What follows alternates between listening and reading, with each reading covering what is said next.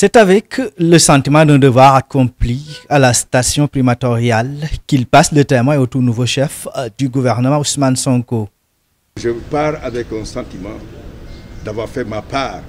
Et aujourd'hui, ceux qui ont la responsabilité des destinées de ce pays, je demande aux Tout-Puissants de les aider, de les guider et de les ramener à prendre les décisions qui amèneront le Sénégal sur le chemin de la prospérité, du renforcement de la paix, de la concorde nationale, de l'unité nationale, bref, de tout ce qui fait la force de notre pays, son trésor qui est la cohésion nationale. Nommé Premier ministre par le président de la République, Bassirou Diomaye Diakhar Faye, Ousmane Sonko a aujourd'hui la lourde tâche de coordonner et d'impulser l'action du gouvernement.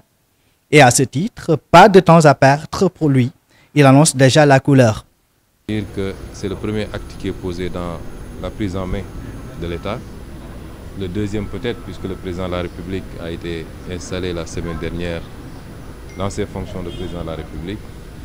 Aujourd'hui, c'est le chef de gouvernement et dans les prochaines heures et les prochains jours, nous nous attellerons à installer l'ensemble du gouvernement pour que, immédiatement après les, les fêtes de Corité, les différents départements ministériels puissent être opérationnels.